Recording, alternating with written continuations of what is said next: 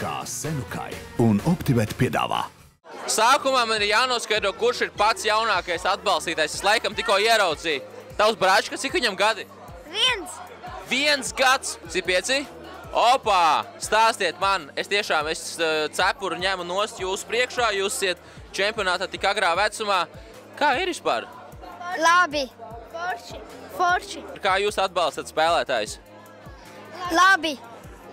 Tātad viss ir labi, ja čempionāts labs, atbalstam labi, vainagdziņš labs ir. Kā tev patīk Bratislavā? Labi. Ir kāds no jums hokejs varbūt? Tu biji? Stāsti savu hokeja pieredzi.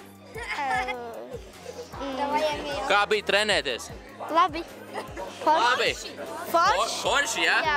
Mīļākie jūsu fanu saukļi? Latvija. Latvija. Sarau. Sarau, jā? A, kāpēc jūs skatāties hokeju? Mums patīk. Mums, mums patīk. Pat-. Jums ģimenē jau hokejs ir no pašas mazotnes iedzīts, jā? Nu, un, un, un, teiksim, jūs saprotat, ka jūs nespēlējat hokeju, bet vai jums arī kā hobijs ir hokejs kādreiz, teiksim, ziemā uzspēlēt hoķi uz ledus? Jā. Jā. Jā. Jā. Vispār ir kaut kas dzīvē, kas nepatīk? Kad mums, mums iemet golu. Man nepatīk, ka citu reizi viņi iemet 5 golus, mēs vienu. Mīļākais spēlētājs tev? Jums varbūt ir kaut kāds sapnis, piemēram, satikt kādu konkrētu spēlētāju? Elvis? Iespējams, mēs saorganizēsim, ka tu viņu satiksi, labi? Jā. Sarunāts? Latvijā! Riteņi un mūsu gulbes,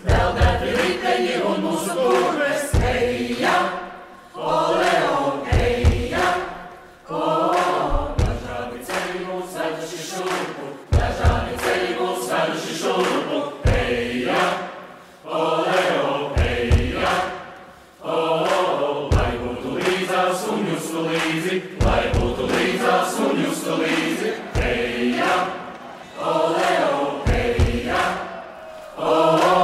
Mēs vienā balsī īstajā brīdī. Mēs vienā balsī īstajā brīdī.